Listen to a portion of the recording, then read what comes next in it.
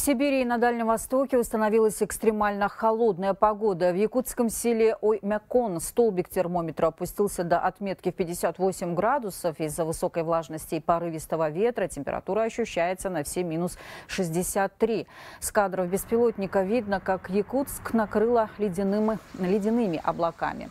Морозный туман стал причиной задержки рейса в местном аэропорту. Я, наоборот, очень счастлив. Я специально приехал в Якутск, чтобы застать вот эту погоду. И, получается, мне повезло, потому что в декабре обычно не бывает таких холодных э, времен. Я хорошо подготовился и э, купил хорошую одежду правильную.